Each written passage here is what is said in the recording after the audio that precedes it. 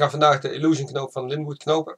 Um, dit is een knoop die heel veel stof gebruikt. Je knoopt hem met dunne zijde, die heb ik aan, rechte, aan mijn rechterkant, uh, brede kant links. Zorg ervoor dat je meteen op de juiste hoogte zit, want uh, je hebt heel weinig ruimte om nog aan te passen. Ik ga meteen beginnen. Rechts over links, achterlangs door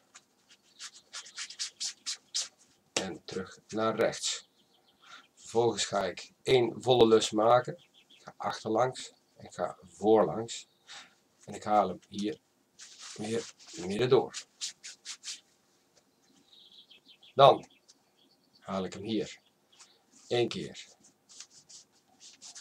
achterlangs door, midden door. Ik hier twee lagen over elkaar heen krijg. Nu ga ik achterlangs door en ga ik aan de rechterkant midden door. En als laatste slag ga je nu midden door langs.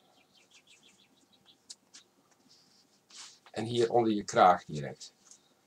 Dus deze als laatste slag is dit. Nou, dan verstop je dat gedeelte onder je kraag. En dan zul je zeggen, ja, maar die knoop zie ik nog niet. Ja, en nu komt het, gedeelte van, het moeilijkste gedeelte van deze knoop. Dat is met de vingers aan de buitenkant van de knoop vastpakken en met je duimen naar buiten te drukken. En het corrigeren van de knoop.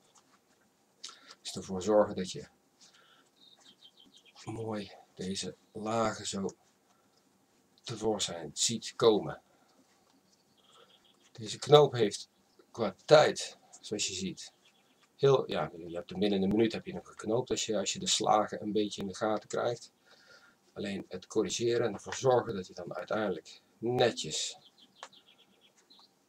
naar voren valt, zorgt ervoor dat je er iets langer mee bezig bent. En hiermee heb je een hele mooie illusion knoop. Uh, het is een hele stevige knoop, dus wees niet bang dat hij in één keer los komt te zitten.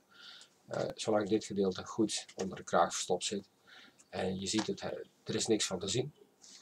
Nou, laat me weten wat je van deze knoop vindt. Ik ben heel erg benieuwd. Ik vind het zelf echt een, eh, een, meesterwerk. Dus echt, ja, hier kun je mee voor de dag komen.